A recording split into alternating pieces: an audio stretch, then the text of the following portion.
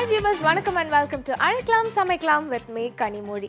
Every day நம்ம ஷோவில் வந்து வெரைட்டி வெரைட்டியான ரெசிபிலாம் நீங்கள் பார்த்து என்ஜாய் பண்ணிட்டு இருக்கீங்க. அண்ட் அது மட்டும் இல்லாமல் சமையலில் உங்களுக்கு என்ன விதமான டவுட் இருந்தாலும் இமீடியட்டாக நம்ம ஷோக்கு கால் பண்ணி கேட்டுட்டு இருக்கீங்க.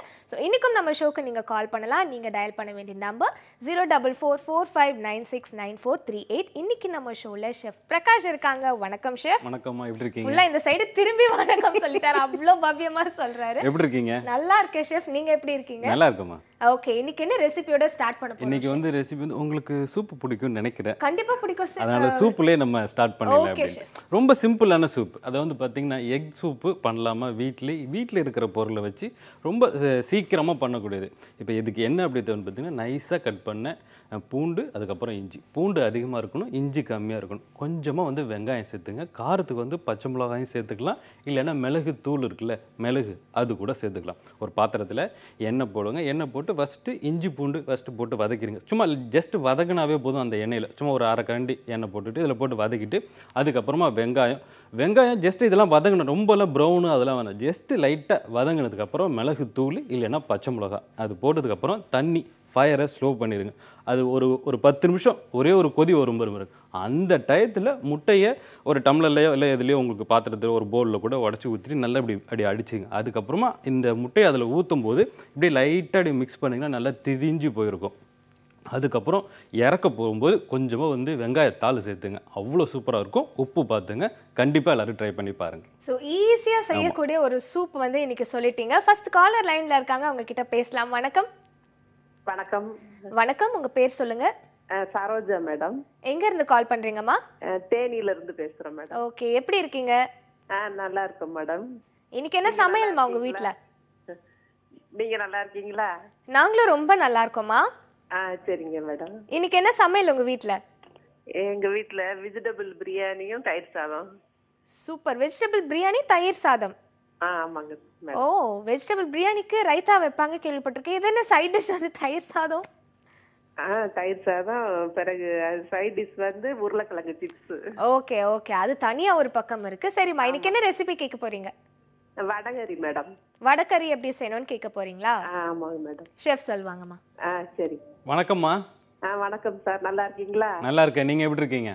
நல்லா இருக்கோம் சார். இன்னைக்கு போன் முத எனக்கு கிடைச்சது ரொம்ப சந்தோஷம் சார். சரிம்மா. ரொம்ப சந்தோஷமா என்கிட்ட நீங்கள் பேசுனதில்ல ஆ, வடகரி எப்படி செய்யணும்னு சொல்லுங்க சார். கண்டிப்பாக நான் சொல்கிறேன் ஏற்கனவே ட்ரை பண்ணியிருக்கீங்களா இல்ல சார் ட்ரை பண்ணது இல்ல இதுதான் ஃபர்ஸ்ட் டைம் ஆமா சார். சரி சரி. கவனிங்க நான் இப்போ சொல்கிறேன் ஆ தேங்க்யூ சார் ஓகே இப்போ இப்போ வந்து பார்த்தீங்கன்னா வடகறி கேட்டிருக்காங்க. வடகறியில் வந்து கடலப்பருப்பை அரை மணி நேரம் ஊற வச்சிருங்க.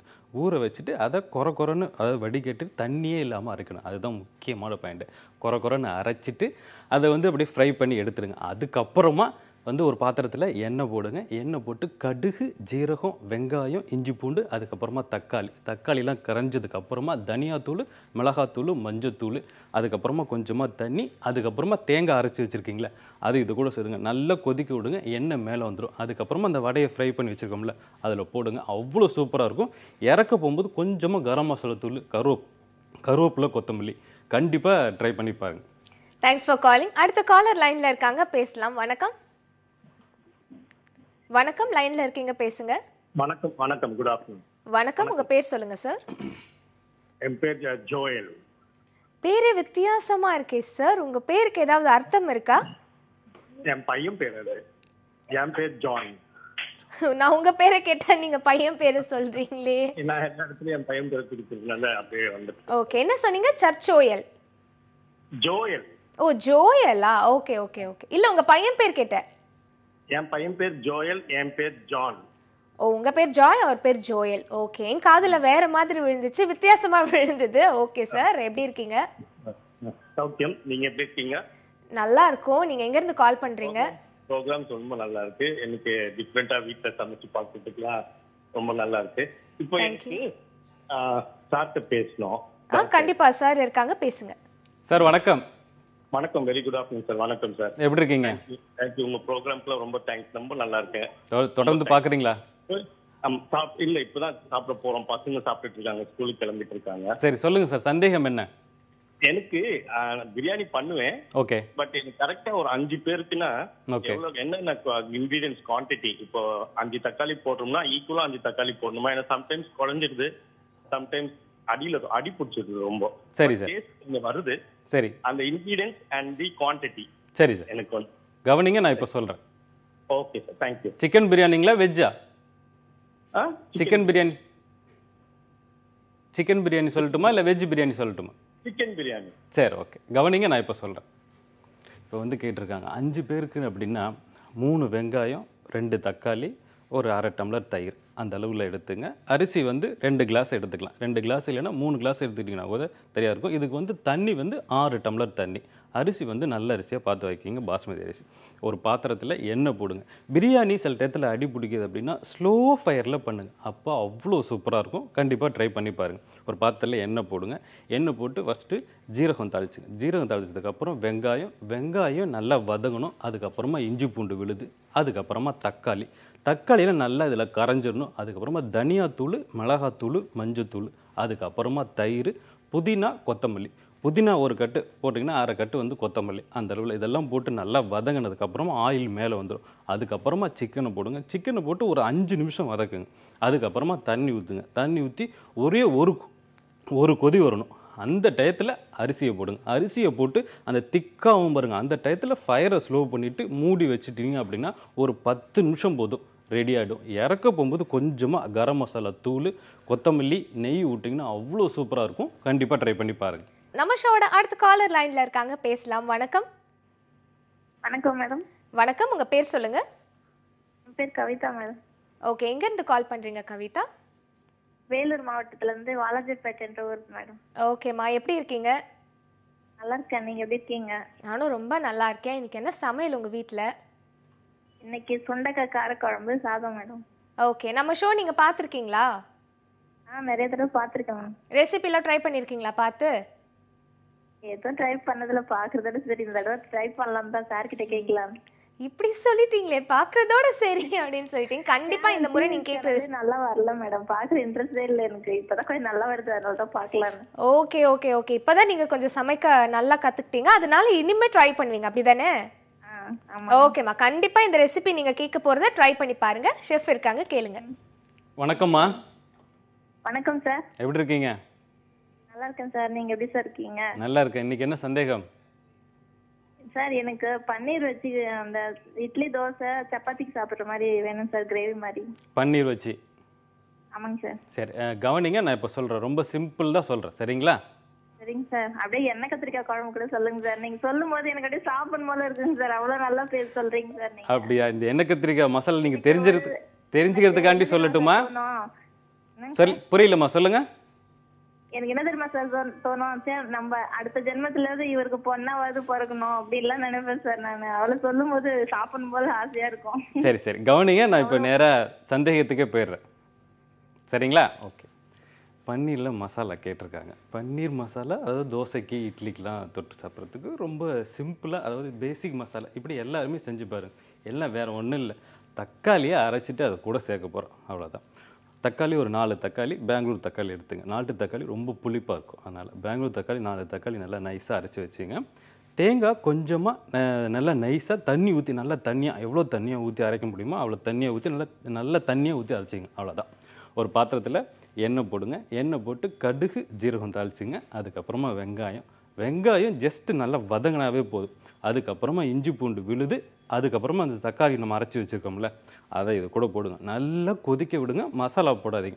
அதில் வந்து மேலே வந்து ஆயில் வந்துடும் அப்புறமா ஒரே ஒரு ஸ்பூன் வந்து மிளகாத்தூள் ஒரு ஸ்பூன் தனியாத்தூள் கொஞ்சமாக மஞ்சத்தூள் மிளகுத்தூள் ஜீரகத்தூள் கொஞ்சமாக கரம் மசாலா தூள் இதை மட்டும் போட்டால் போதும். அதுக்கப்புறமா ஒரு- ஒரு அரை கிளாஸ் தண்ணி.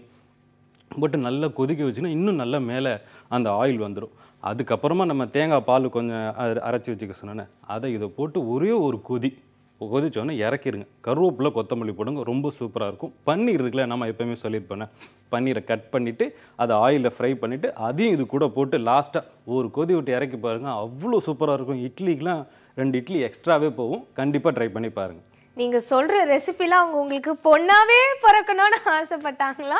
ஓகே நியூஸ் தேங்க்ஸ் ஃபார் காலிங்மா அடுத்த காலர் லைன்ல இருக்காங்க. அவங்க கிட்ட பேசலாம். வணக்கம்.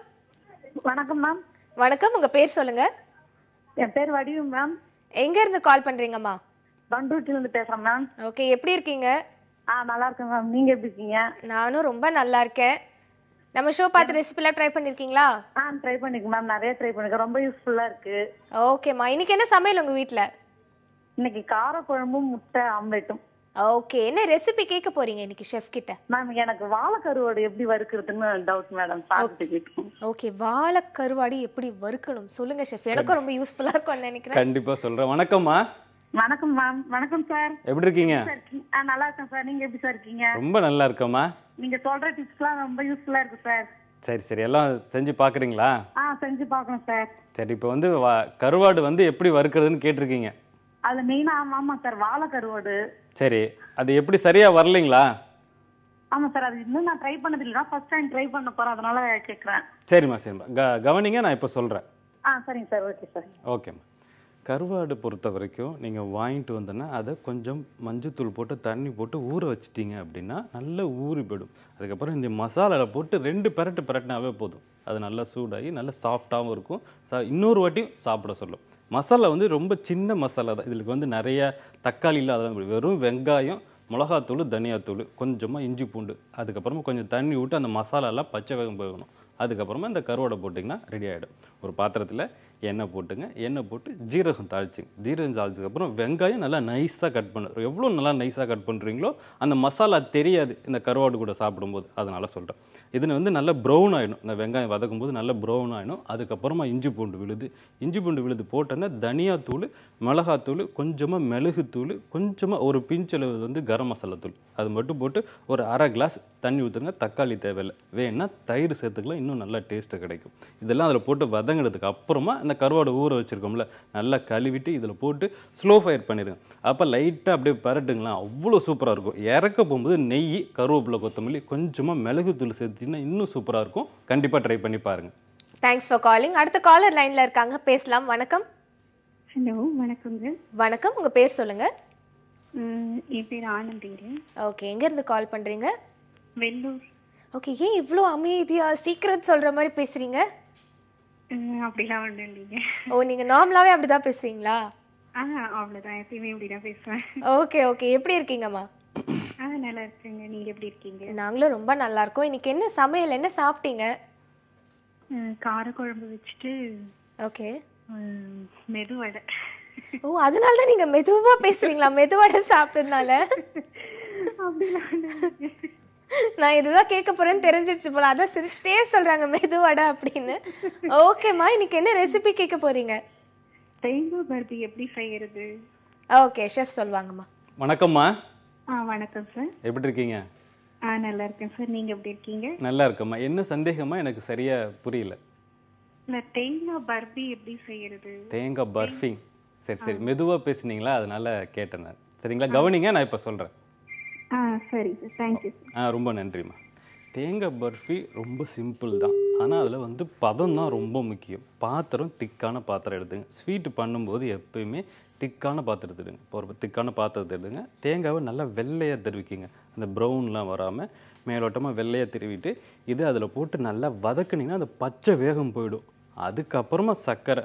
இப்போ ஒரு தேங்காய் வாங்குறீங்கன்னா நூறு இல்லை நூற்றம்பது கிராம் சர்க்கரை போட்டாவே போதும். அது கூட வந்து தேங்காய் எண்ணெய் இருக்குல்ல ஒரு ஒரு சொட்டை ஆட் பண்ணிங்கன்னா அதில் ஒட்டாமல் வரும் பாருங்க அதுதான் பதம் அதுக்கப்புறமா அதை எடுத்து ஒரு ட்ரேயில் போட்டுட்டு நீங்கள் கட் பண்ணி சாப்பிட்டீங்கன்னா ரொம்ப ரொம்ப சூப்பராக வரும். கண்டிப்பாக ட்ரை பண்ணி பாருங்க. நம்ம ஷோட அடுத்த காலர் லைன்ல இருக்காங்க பேசலாம். வணக்கம். ஆ வணக்கம் மேம் வணக்கம் உங்க பேர் சொல்லுங்க. இருந்து பத்மாவதி பேசுறேன். ஓகே ஓ பத்மாவதில நம்ம ஷோ கால் பண்ணிருக்காங்க அடடே அடடே. எப்படி இருக்கீங்க பத்மாவதி? ஆ ரொம்ப நல்லா இருக்காங்க மேம். ரொம்ப நல்லா இருக்கீங்களா? ஓகே இன்னைக்கு என்ன சமையல் உங்க வீட்ல? இன்னைக்கு வந்து சிக்கன் ஃப்ரை அண்ட் ரசம். அடடே அதான் இவ்ளோ நீங்க பேசுறதுக்கான எனர்ஜி இதுதான் நினைக்கிறேன் இல்லையா? இவங்க மட்டும் தான் நீங்கள் வெஜிடேரியன் சமைச்சிருக்காரு. சரி நான் நான்வெஜ் சமைச்சிருக்காங்க. ஆமா இன்னைக்கு பேசின காலர்லயே வந்து நீங்க தான் நான்வெஜ் சமைச்சிருக்கீங்க. சோ நாங்களும் பயங்கர எனர்ஜி ஆயிட்டோம். ஓ. இன்னைக்கு என்ன ரெசிபி நீங்க கேட்க போறீங்க? சார் குட் மார்னிங் சார் என்ன ரெசிபின்னு எனக்கு வந்து மோர் குழம்பு எப்படின்னு நீங்க சொல்லணும். சரி கண்டிப்பாக நான் வர மாட்டேங்குது எனக்கு. அப்படிங்களா? என்ன என்ன வருது? தெரிஞ்சிருதுங்களா? என்ன சொல்றது? அதுல என்ன போடலாம்? தயிரை தவிர இது என்ன வடையை தவிர வடை தான் போடுவாங்க. பூசணிக்காய் போடலாம் வெண்டைக்காய் போடலாம் கத்திரிக்காய் போடலாம். சரிங்களா? இதெல்லாம் நீங்கள் ட்ரை பண்ணி பாருங்க இதெல்லாம் ஃப்ரை பண்ணிட்டு போட்டிங்கன்னா நல்லா இருக்கும். வெண்டைக்காய் கத்திரிக்காய்லாம். அந்த வதக்குறீங்களே அதில் ஃப்ரை பண்ணிட்டு அதுக்கப்புறமா சேர்த்தீங்கன்னா நல்ல கலராக இருக்கும். அந்த க்ரீன் கலரு அந்த கத்திரிக்காயோட கலர் அப்படியே கிடைக்கும். ஓகேங்க சார் நான் இப்போ சொல்கிறேன் அந்த- மோர் குழம்பு வந்து எப்படி என்னென்னலாம் போட்டு செய்யணும்? நான் இப்போ சொல்கிறேன் கவனிங்க. சரிங்களா? ம் சரிங்க சார் ஓகேம்மா. ரொம்ப நன்றி. மோர் குழம்பு கேட்டிருக்காங்க. நான் ஏற்கனவே சொல்லியிருக்கேன். அதே மாதிரி தான் திரும்பவும் சொல்ல போகிறேன் இப்போ எப்படின்னா ஒரு பாத்திரத்தில் தயிர் எடுத்துங்க. தயிர் எடுத்துட்டு கொஞ்சமாக மஞ்சத்தூள் ஒரு ஸ்பூன் வந்து கடல மாவு இதை போட்டு நல்லா மிக்ஸ் பண்ணிக்கோங்க. மசாலா வந்து தேங்காய் ஜீரகம் பச்சை மிளகா ஜீரகம் வந்து கம்மியாக சேர்த்துங்க. பச்சை மிளகா காரத்துக்கு. இப்போ ஒரு தேங்காய் எடுக்கிறீங்கன்னா ஒரு நாலு பச்சை மிளகா அந்த அளவில் சேர்த்துக்கிட்டாவே போதும். இதை வந்து குறை குறைன்னு அரைச்சிங்க. இது எல்லாமே தயிர் கடல மாவு மஞ்சத்தூள் இந்த மசாலா.